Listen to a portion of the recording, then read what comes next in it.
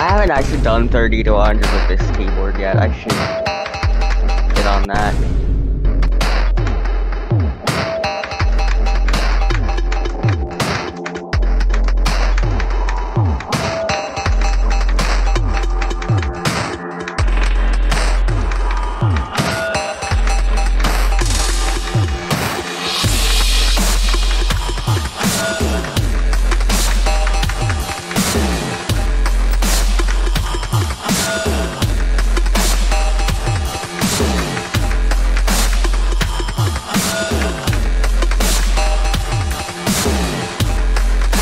Yeah, I should get on that, shouldn't I?